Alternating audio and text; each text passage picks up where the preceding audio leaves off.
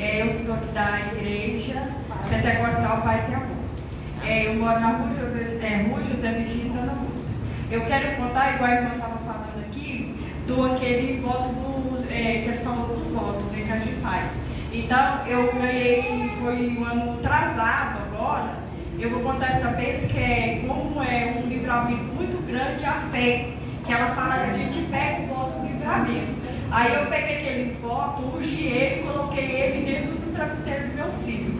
Aí quando era aquela guerra que eu passava tão grande na minha vida, que a minha vida era de casa para igreja, casa para igreja. Aí Deus sempre usou para a irmã falar, minha filha, é a hora para chegar. Aí eu vou, aí sempre usou ela, falou, a hora, sua vai, a hora vai chegar que eu vou livrar ele.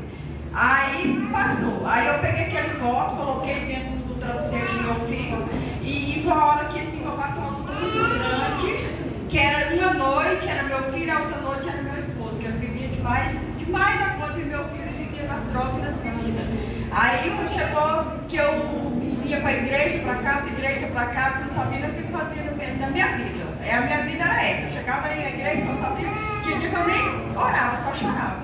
Aí você vê o tanto que aquele voto vale, a fé é tão grande, que meu esposo chegou de madrugada. Foi aquele dia que eu saí da igreja, cheguei em casa e falei assim, Senhor, eu vou deitar, vou dormir, porque a vida meu filho está na tua mão, não posso fazer nada. É igual, é igual eu ter fé, porque mandou ter fé, eu não ter fé. E deitei e dormi. Foi aquela noite que eu dormi. E foi três horas da manhã, meu esposo chegou ali me chorando, cramando, se joelhou na minha cama, falando, mulher, você viu o que, que aconteceu? Eu falei, o que, que foi? Eu peguei a faca para matar ele, meu filho, quando eu fiz isso, me puxou para trás.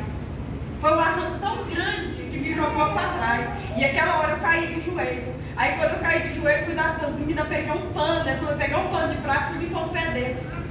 Aí eu falei assim, ué, mas que motivo é esse? Não sei, veio aquela fúria assim, do, que eu não sei o que que é. E quando eu me dei aquela vontade, fui na cozinha, peguei a faca assim, fui tanta vontade para me traçar todinho, e veio e me puxou.